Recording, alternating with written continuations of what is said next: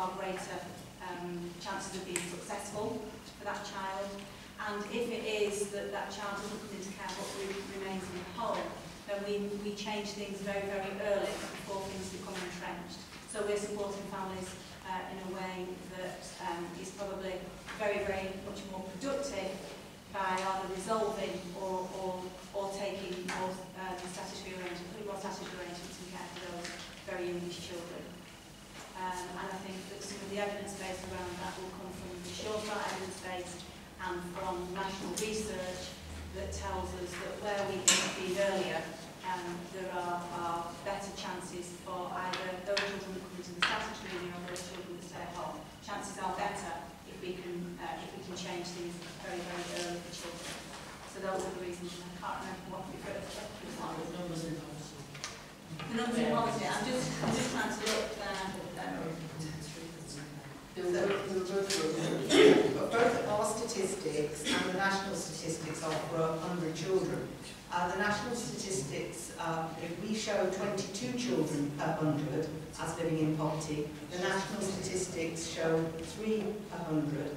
But actually, that takes us up 30 per 100, but that takes into account London and other areas where, where they have quite high numbers of children living in, in poverty. Um, If, if, if, councillor, if, if you went to Rural Light Tower Hamlets or Newham, uh, or parts of Essex, which is where I live, there are uh, four in ten living at or near the poverty line. And ABCS is a national, overarching global organisation, so it, prevents, it presents national figures. And those very high poverty areas, and there are coastal and rural poverty areas as well, of course, in England. Just out of, out of curiosity, do we know what the number is for Liverpool?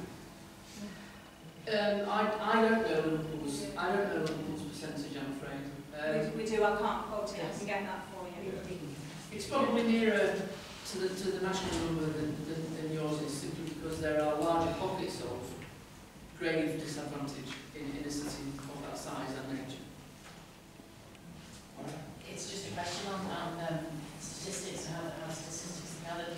Do remember that at one time, one of the criteria for measuring um, children living in poverty was number living in high rise. Of course, we've got no high rise at Wirral, and I know that that was always taken as distorting the figure for Wirral. Because we, some of the, I don't know whether that's still the case, that the criteria for measuring poverty is, it's not, it's not the case, that changed. Because that, it could be in the last five years that's changed, because it was always given to us that we don't have any high rise, but it actually, that, if that's one of the indicators, that skews things in, in, in terms of how London um, present their figures. But I don't know. We'll certainly, certainly have, certainly have a look at Yeah. that and all the, um, all the regional work that's going on, because there is a positive region, um, policy work group as well. So. Okay. Uh, I'm going to move on to the next item, if you're all right with that. Next item is the annual Safeguarding Children report. We've got Maggie Atkinson, who's the chair of the Wirral Safeguarding Board. Uh, she's been to committee before, informed the workshop, and we've also got Dave Watkins, who's the manager of the board. Thank you, Maggie. Chair, the- these slides will be on the Safeguarding Board website. Um, the report goes from page 17 of your pack to page 112. no, no, we're not. Um, but um, it's, it's important, I think, that um, since we uh, concluded our um, memorandum of understanding with this scrutiny committee, that you have the opportunity to look in detail at it. Because the Safeguarding Board is, is itself a holding to account organisation, but it's all the public agencies, and it includes schools and Wirral Met and other bodies, and there are lay members and voluntary organisations that also sit on it. We feel very strongly that an annual report like ours could aid you in your shining a light on the things you want to shine a light on in scrutiny terms about Borough's children. Um, it's not um, a single organisation's report, it's co-written by all those agencies that sit on the board. Um, my proposal, you've got the cover slide there, but my proposal is that the main thing I'd like to focus you on, David, our business manager, who's sitting in the back, very kindly put onto your tables an A3 sheet. And then it very neatly takes you through the headlines of what's in the slide pack, although of course we will, we will give you the slide pack it's been, you might say, a busy year, 16, 17. If I start in that top left box, it's very important that, that you understand that, that like the improvement board and like uh, the Children's Trust Board that continues, we need to ensure that we're measuring how well things are going for children and young people in terms of safeguarding. Every statutory body and any publicly funded organisation, including schools, have a, a statutory safeguarding responsibility. So we're all in this, we seriously are all in this together. Um, this year, we've looked in great detail, uh, often with the provider bodies that, that the council commissions to deliver the service, at a range of things. So we've looked, for example, at your young carers. Um, that's anybody who's uh, uh, spending however many hours a week um, actively and directly caring for somebody in the household who may be a peer, a sibling, a parent, a grandparent, and the youngest young carer I've met, not in this borough but elsewhere, was five. And you will have young carers, there will be young carers in every school, if you're a governor. You're likely to meet them in any organisation that you're part of. They are, it's an endemic thing, and they came to the board with their uh, supporting body, which is Barnardo's in this borough. Um, Barnardo's does a fantastic job, and your young carers will tell you this. Um, they are given the opportunity to children as well as carrying caring responsibility, and that's really important. We were, we've been tasked to look in great detail at the number of private fostering arrangements, so that's where it isn't either the council or an independent uh, company or a big voluntary organisation that's running the fostering. It's a, a private family arrangement, whether it's kinship or otherwise. And uh, some children get a fantastic service in that circumstance and some don't. So we've been asked to look. Um, we are looking, because Wirral actually has a lower number of notifications about private fostering than other places. Now is that because people aren't reporting it? Or is it because you've got a reasonably healthy number of in-house foster carers and relationships with other providers? If people aren't reporting it, that's when you start to get concerned. Who's looking after this child? What's the formality of the arrangement? Is it safe? Are social services involved? Is that child being properly cared for? So that's why we need to look at private fostering. Uh, we have a low number of notifications and we are on it now. We are on it like terriers. Um, we are looking at how effectively agencies get in at the earliest opportunities, Deborah was saying. The average cost of putting a child into any sort of care is somewhere in the 40 to 50,000 pounds a year mark. Your most expensive placement for your most complex children and young people into the most heavily supervised, most secure, most specialist placements can run, if it's a 52-week placement, seven days a week, can run anywhere between a quarter and a third of a million pounds a child. If you can get in earlier, you can put the right support around that family, around that community, around that school, around those voluntary organisations, the possibility of keeping that child safe at home, even heavily supported, is going to be a great deal less than that. And that's, that's the issue. They're also better in their home communities, aren't they? Better in the places where they're growing up with their friends. So we're looking at that. And early help is robust and it continues to be developed in this borough. And I'm delighted to say that bodies like the police service, who set up safer Wirral hubs, um, and the health teams in both in uh, primary and secondary care are very strongly on board, and so are your schools, in trying to help earlier so that children can stay at home and be safe. Um, we've looked in great detail at how this borough keeps children who are at great risk of harm um, safe. Um, it's very important that everybody takes account of this. And if I do urge you to go onto the Safeguarding Board's website, there is a great deal of learning material that is learning material because it's been picked up from serious issues, difficulties and failures and is being translated into the training of staff from schools, from social care teams, from health, from youth services, from youth offending teams, from the police. And that material is usually free to download and usually free to print off. And you've got these glosses, and if you've got an office, do put it on your wall. It's very important for us as a board that we keep a very close eye on and ensure that organisations are responding swiftly to both the Ofsted critique of how the board operated, but also our own critiques. Our safeguarding, our uh, serious case review committee is chaired by the designated paediatrician from the clinical commissioning group, not by a council uh, uh, staff member at all. And it features every agency that needs to be there. Um, and she is very um, sharp and very insistent, and she holds me to account as the chair for seeking the right assurances from organisations that improvements are actually happening. No, it's not perfect. No, we don't live behind the front doors of every family with a child in grave danger or at risk. And we can't.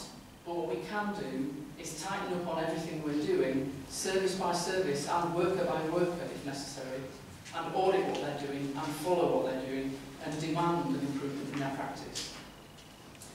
Um, arrangements to keep children safe in the Wirral are deemed by us as the board, which holds all organisations to account, to be as strong as they can be at the moment, but continuing to improve, as Deborah and Simon have been saying. We are getting far better, and Ofsted recognise this, at keeping in better touch with children who have left care and who are striking out into independent life. And if you don't know about this, I urge you to find out about it. Um, Wirral is hosting a Christmas dinner for care this year on Christmas Day.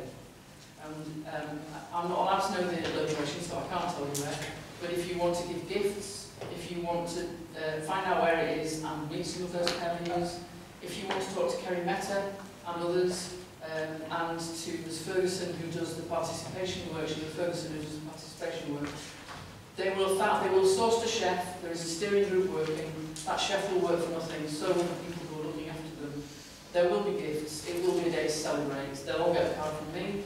If you want to send them cards or you want to present gifts, you should give them to Kerry and she'll make sure they get there. This is a national movement, there are about 18 Christmas Day carers dinners running this year, up down England, and I think they are remarkable because I don't know how you were when you were 18, but if I've been expected stay in a bed sit on my own on Christmas Day, when there is no transport and nothing is open, I come from a stable family and I'm quite a happy chap. But had I been through some of what care leaders have gone through, I don't think I would have been able to cope. And I think it's a great initiative and I urge you to support it. We launched earlier this year and we're still doing the training and the formal launch is on the 28th of November a brand new model for all interventions with families. It's called Supporting Families Enhancing Futures. It's been developed by everybody, the police, the health service, the schools, the social care staff, the youth staff, charities, voluntary bodies, um, council uh, staff and everybody else, working with Professor Jan Horwath, who's an expert in this. And what it does is it gets the worker, social workers or otherwise, to go into a family and help that family to understand what's happened to get them to where they are at the moment if things are troubling or approaching crisis, and what everybody can do together to find the strength again to become a family again. So it's not just we come in, we've got a clipboard, we take the child away.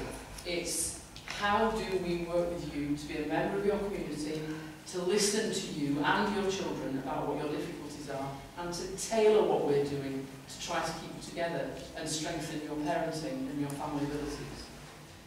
Hundreds of people have been trained in, this, in using this model to date and the training continues. Staff from health, from education, from social care, from youth, from youth offending teams, from the police are all being trained in how it works and how best to use it. Because you know families in crisis don't understand that even in crisis they still bring some strengths. It just takes some digging to get to them. It's a fantastic model. People all over the country are going onto the website and nicking it. If we could copyright it, lock it, and they couldn't nick it, I'd be delighted, but we can't. But if they're going to learn from the world, there's a really important and positive point. It's a fantastic model. I think it beats anything I've ever seen. What have we achieved? we caught, we, we were declared inadequate in 2016 alongside uh, social care services for children looked after and in need and at risk. Um, that was a sore thing for the Safeguarding Board. People have talked a lot about partnership, but it feels to me, almost a year in as your independent chair, that we are now actually getting people to step up and act partnership, not just talk about it. So the CCG, urged by uh, your Chief Executive, Eric, um, have stepped in and helped us to close the funding gap that was facing us by the 31st of March 2018. Not on the basis that they want something for that, but on the basis that it helps them to fulfil their legal responsibility to the Safeguarding Board. We've coordinated a lot of multi-agency work. We've published a lot of training materials. We've run training for literally thousands of people in all sorts of settings, in all sorts of subjects. Our improvement journey hasn't been easy because a lot of what Ofsted said was about whether we were ticking boxes or not, not how we were thinking, how we were working, and how the chair was challenging agencies to perform. We've moved to a point where what I do is use the legal term, I hereby seek justice. So we have a child death overview panel in Merseyside, and Merseyside has a higher rate of infant mortality than it should do, and in comparison to other areas of. And what was found when the Child Death Overview Panel looked across Merseyside was that not everybody was doing the Safe Sleep campaign. Not everybody was saying, show me where the baby slept. Not everybody was going in and helping mum or dad to understand that safe sleeping matters. And I wrote to all agencies and said, I hereby seek formal assurance that everybody in your agency is undertaking the Safe Sleep campaign. And they couldn't say, well, I'm not going to tell you. because when the chair of the safeguarding board seeks assurance, a response has to be given. And we are hoping for improvements in those rates because people have had their attention snapped back onto the Safe Sleep campaign. Um, we've revised our operating framework and our terms of reference. We work in a different way now. We have a far smaller team because the budget has been uh, reduced. And therefore, the people out there in the other agencies are having to do most of the work and bring it back in to the board for assurance. Um, we have, as I said, launched the Supporting Families Enhancing Futures model. We've delivered on the right service, right time of materials, which are helping people to understand that if you've got a child in early stage difficulties, you don't automatically leap to the top of the system where they're in care or there's a statutory intervention. You, you work early. That was a safeguarding board initiative and the, the materials are all on our website. Um, we've met children in care, we've met youngsters who are part of um, the, the youth representation bodies in the borough. Uh, we've spent time with them and listened to their issues. Um, we've revised our strategies and tools that help social workers and others to work with families where there is a risk of neglect or a risk of harm. Um, we support learning and improvement in all the agencies that are part of the board. Uh, they're shared through our training, they're shared through our publications. There's very heavy traffic on our website. It's very easy to use. We're looking with everybody at how best to use the procedures that are already in place. We're not reinventing wheels. We are getting people to go back and relearn what we know they ought to have known, but sometimes there are gaps in that knowledge. Um, if things need escalating, I escalate them. So I've written to Chief Executive of the Council to the Police and Crime Commissioner, to the Chief Executive of the CCG, and to others about budgetary difficulties. And it's not been easy, and they haven't found back pockets stuffed with gold, but at least I've put it on their radar. There are five priorities that started in 2016 and will go right the way through 2018. The children in need of help and protection are identified earlier, at the earliest opportunity, not late that they are protected from all forms of exploitation. And don't forget, we're dealing with radicalisation, use of children in criminal, criminal gangs, use of children, and Ian Hassel will talk to you about this, I'm sure, um, by drug gangs and by drug runners, because they are they hide easier, they move faster, they're better with the technology. Um, we're looking at radicalisation in both extreme right-wing political organisations and on the dark web um, far fewer in this region in terms of children running away to uh, the Middle East, but far more in this region, looking at dark websites that are about uh, extreme right-wing uh, political views and violence against minority communities. Um, and we've got somebody from the Department for Education coming to talk to the next board meeting about that.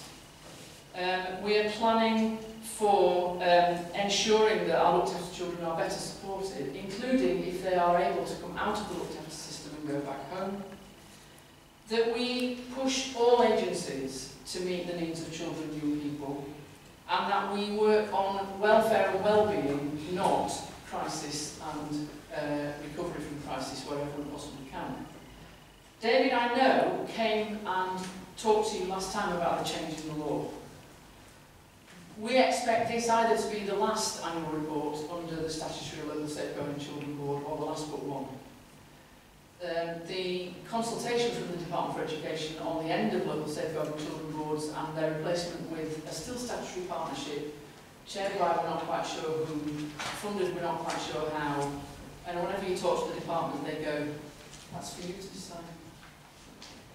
Two staff at a big seminar last week got that all day. Well, that's for you to decide. So when, when staff from another safeguarding board said, can we still have an independent chair, they went, that's for you to decide.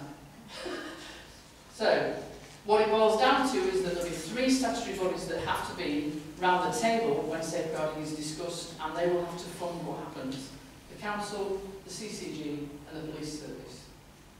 They couldn't answer the question as to the fact that there are half a dozen councils in the Merseyside region, there's only one police service. So the half dozen councils and the however many CCGs will have to find slices of funding, but there's only one police service and he'll have to find slices of funding for all six. Or in Manchester, all 14. There are no answers to that. No answers to who holds to account, who inspects, who reviews. No answers to what happens if there's a conflict. No answers to what happens if other partners decide they're going to walk away. Even though schools and everybody else will still have a safeguarding responsibility in law, they don't have to be at the partnership table. And they could choose to walk. And I don't think your schools will, but my ability to advise on the change will run out because partway through 2018, I will be too close to it as you're imminently stepping down or abolished or whatever I'm going to be chair. So the council, the police and the CCG are going to have to sort it out among themselves. And your role as scrutineers could become extremely important in making sure that well. Um, we don't expect the cost of the, of the safeguarding partnership to go down enormously because it's been stripped to the bone already here. Um, you're already now a staff of less than five full-timers uh, to look after all the work that the board does and that's just, it's about as lean as we can get. And that's because the funding in all agencies is continuing to diminish. Um, I recognise that safeguarding laws have been somewhat bureaucratic in places and have had difficulties, uh, your own included. It feels to me as if we are on an improvement journey in terms of partnership and people really owning safeguarding in the Wirral. And my concern is that there will be some places who go, well, if it's just the three of us, everything else can drop away, we won't run a website anymore, we won't run training, won't, we won't do any of that. We will just have the three of us meeting now and again, and the chair will rotate between the three of us. What happens if somebody's safeguarding responsibility out there in school land, or FE college land, or wherever else, falls apart and there isn't a board or a partnership to which they can come to learn the lessons and to write the reviews.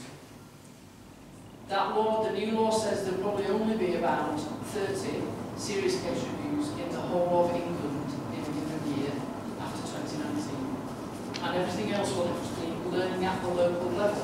Well, we already do a lot of that. There's a fantastic amount of management reviewing work and uh, improvement driving work that isn't about serious case reviews that happens in every local safeguarding board The issue for me is I'm not sure that unhooking everything is going to make things any safer. So, I will give my very best advice. It looks as if we're likely to, to run our safeguarding board as it currently stands until about the end of 2018.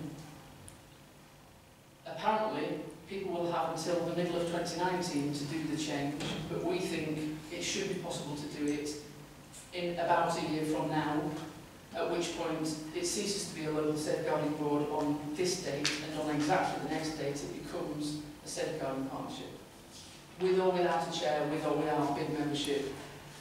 We have development time booked at the end of this month, the chief executive is coming, and so are the very senior people from representative organisations, and we're going to start to walk our way through it your continued eagle eye on how it's going is going to become more, not less important, is my prediction. Um, I think we are improving, but it's a long journey. You know, as Councillor Hayes said earlier, the number of looked after children hasn't gone up in the last five minutes. Neither have some of the failings in what the local safeguarding board was doing before 2016, and it therefore takes time to unhook what wasn't happening and to put in place what needs to happen. But it feels to me that I can give you my assurance as your chair that that journey is well underway. And like Deborah, I'll take a seat and if you have questions. Everything about the consultation and the changes on the DFE website, it's also on our website. Please do get involved. Any questions? Alan? Yeah, I was um, delighted that- you've got an, an improving outcomes committee. Um, and in there you said it, I mean, and it lists some of the, the ways that early help methods of use and so on. But actually what I was really interested in was how it measures those extra outcomes, because that's part of its brief. Um, is it, I mean, it's more than just off the box ticking. It's looking at, at how, how outcomes are actually, what is actually happening on the ground. Or, and, It is. and is the, the work, is it published now or will it be published in the future? Um, Carly, Carly is your outcomes improvement expert and the work that she does and the work the Improving Outcomes Committee is chaired by the CCG's designated lead nurse for safeguarding children, Debbie Hamilton. Um, not by council staff member, and I think, I mean, that's a sign of partnership. And they, they do look at numbers, they do look at how many children have had more than one referral, how many children have been sent back into the system, how many children have come through the door of early help, and so on. But they also look at, at narrative improvement, you know, um, how many children have got the right support at the right time from the right people. And that, that is about, um, it's about qualitative improvement as well as counting the numbers. Um, the place that receives most information on improving outcomes is actually the Improvement Board, which as you know is chaired by the FE official Tony Crane. Um, he and I are in discussion now, and we've already signalled to the Chief Executive, that as early as possible in 2018, that board should migrate its business into the local safeguarding children board. Um, and so that we've got one improvement body, and that the local safeguarding children board should have a link to the health and wellbeing board, which is the other statutory wing, so that we are reporting children's issues and children's improvements into the other statutory body, which is the Health and Wellbeing Board. Um, it's, it's slow progress, isn't it, Carly? The other thing that's really slow is getting people to stop saying, we've seen 100 children, and start saying, and what difference did you make? That's, that's the really slow bit, is getting to the and question, rather than just the count the numbers. I think in addition to what Angie's explained as well, what work is already underway is about having one outcomes committee across the partnership of the improvement board and the Rural Safeguard for Children's Board because it is important that those partners receive the right information, um, you know, the quality of information, not just about indicators but other forms. So findings coming out of our audit processes, um, findings coming out of our complaints and compliment system, surveys, so it captures once and provides a holistic approach of how we are improving outcomes across our partnership landscape. And that work is underway. We've had a joint workshop on the 3rd of October. We've got one planned on Thursday, again, across Parliament to say, how do we have a single conversation around outcomes for children? But then also, Councillor, how do we get it into the thinking of every social worker, every teacher, every governor, every children's nurse? And that's, that's the long journey. That's the long journey. How do we get that, what difference am I making, thinking, into everybody's practice? That's why we do so much training. And it, because it's just key for this committee well. Of course it is. And that's why I commended the annual report to you as a potential, you know, print it off and keep it on your desk and, and talk to each other about what else you'd like to look at document. Because it captures in one place a large number of improvement issues that face services that are working with children. Okay, Tom. Thank you, Chair, and thank you for that presentation. In your report, um, you reference a serious case review. Um, I'm sure that concerns the Badger and Random Zero case. I was just wondering when this committee might find out those outcomes. Um, the committee uh, knows, I think, that um, backed by the DFE, um, we are not publishing the actual review itself. Um, the reviewer spent far longer than, than would otherwise have been spent on ensuring, or trying to ensure, that she could write something coherent that would not permit the identification of the victim concerned. She's a very experienced reviewer and she couldn't do that. So we talked to the DFE and the DFE backed my decision not to publish the review in full. What will be published, and I would think by well before Christmas is what we're aiming for, is um, both an action plan for every agency, so that's the council, education, the police, the health service, um, with uh, targets to which I will hold people to account on the local safeguarding children board because it's my review and it's, it's my board. Sorry to be so independent. Um, but there, there is also um, a set of outcomes measures um, that will be uh, used to hold people to account. It's written in the present tense, so it says things like every police officer has had the training and this is this has been the effect, or every governor in every school has, has had this information and they've made these actions as a result. It's written in the present tense because I want to look at outcomes and there will be data attached to that. Um, Given if all this statutory guidance um, relating to serious case reviews was that the report should be written in a way that will, will identify the victim, but um, we've just had the, occasion with that um, I suppose we'll have to live with that, but just what you said at the end of your presentation there about this committee taking a more robust approach, I suppose, with the changes that are coming in, how can we do that if we don't see the report in full? Um, you're seeing the report, Councillor? Simple. Chair. Simple. And Councillor Hayes and I have been in lengthy correspondence about this, and you know the DFE did not demur. I, I stated my reasons, and the DFE, and the DFE asked for a goodwill reason for children, and they said, we agree, please don't publish. We've got, uh, Chair, just one more. Just, just to comment on that there, I think that's absolutely outrageous that a member of this committee cannot look at that full report to ensure that, you know, how scrutinised this doesn't happen again. I think it's, you know, like that really on record. I hear what you're saying, thank you. Chair. Um, with, with, along the same lines as that, um, you referred to um, the training of taxi drivers and licensees, and I just wondered where you were with that, because I've certainly had residents speak to me about a problem of a certain takeaway that is um, going along the same line, shall we say, as what same serious case review was about. And I do know it has been reported to social workers, and I just wondered if um, anything's been done about this. I know Councillor Rockman and I have spoken about this before, haven't? Because you have a, a theory about it. And certainly from young people's perspective, they are thinking these places are wonderful, we get free chips, uh, they'll give us some money to buy a bottle of wine, and here we are, we're going to end up in the same situation with another serious case review. Can I, can I ask whether, as well as referring it to social care, it's been referred to the police? Uh, I've no idea. All I know is that the person concerned informed the social worker about it. Right. Um, if, if, if, if what, what you're implying is happening at that place, that's criminal, and the police need to know. And I know Ian Hassel and Tracy Hayes particularly, um, and their teams would want to know, because their ability to disrupt that activity is greatly enhanced when they have reports from people of their concerns about what children need. Well, I will find out in our own yeah. Um, if, if it's gone to the police or not, but I certainly know this particular person told me that they have spoken to a social worker because they were concerned about teenage girls that are going in this way. Right, okay.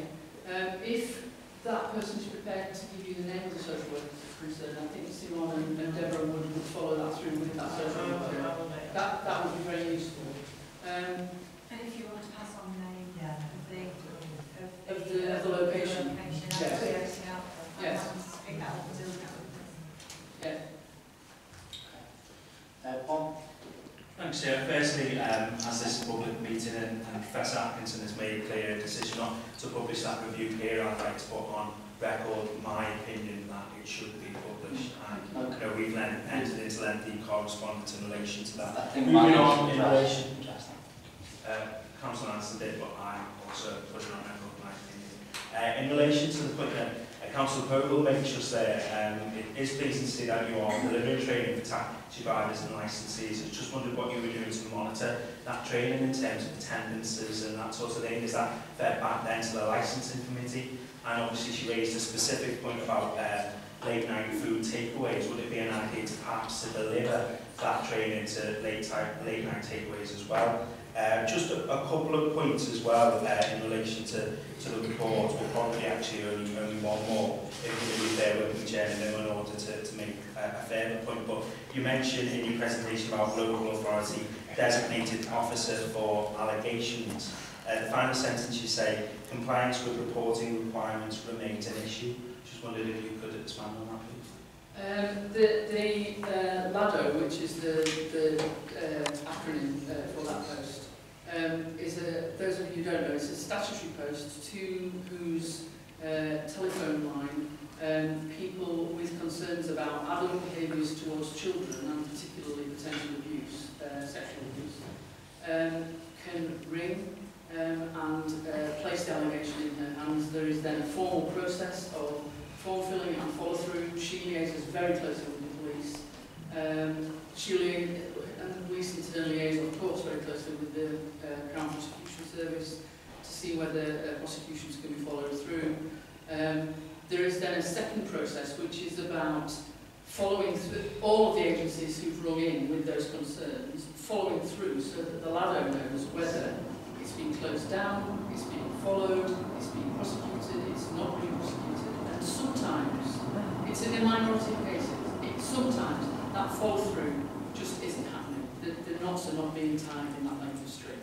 Um, she's, she is very assiduous and very uh, conscientious, as is Kerry Meta, the head of the Safeguarding Service, who oversees her work, uh, in trying to get people to understand if you leave cases supposedly on our files, not closed, when actually what you've done is closed it, you need actually to, to tie up that loose end.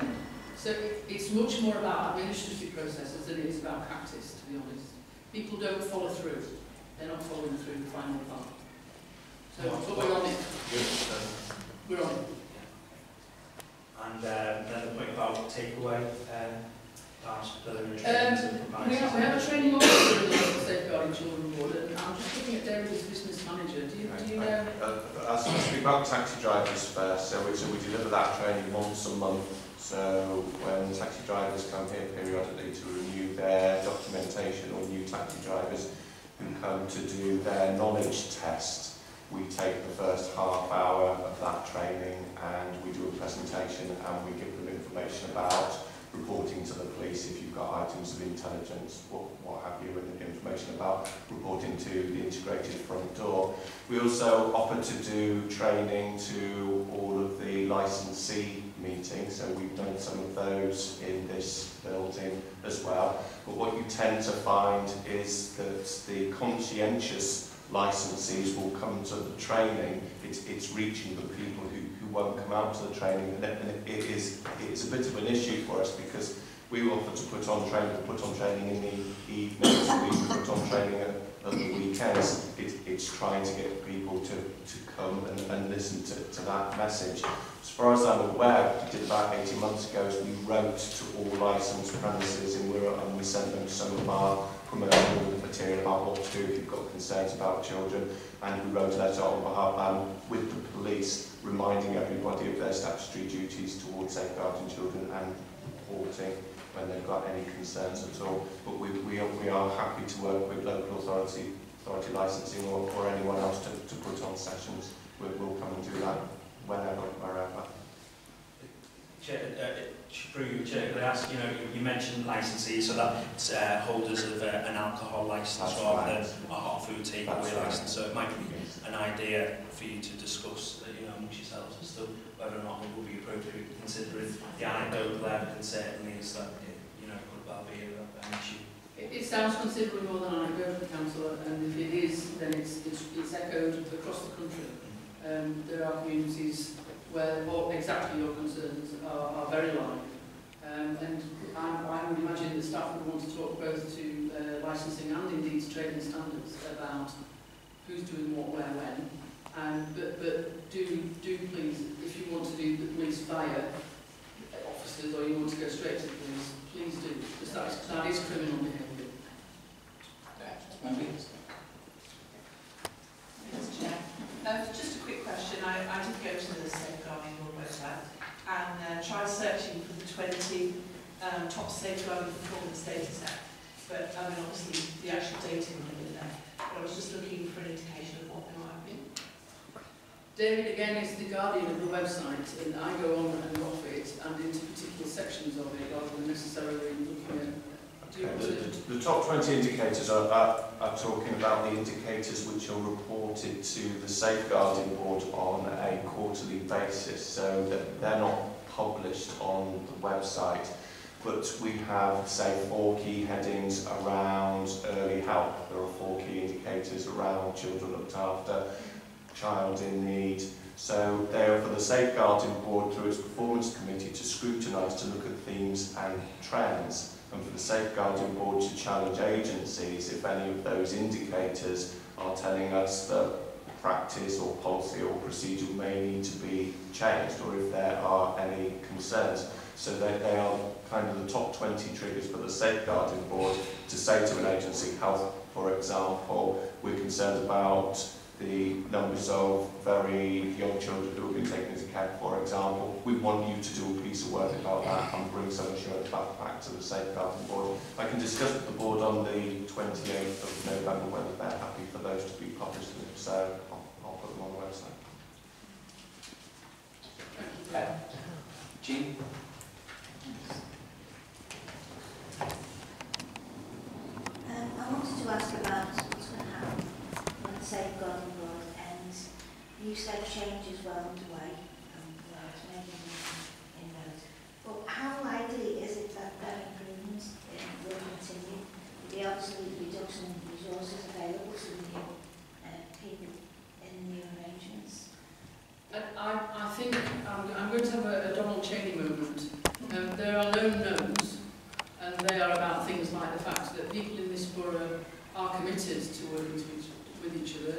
Um, you know, your, your police and your health colleagues will step up to the plate, and so will your head teachers and their safeguarding designated teachers, um, and so will their uh, designated safeguarding governors, and so do you.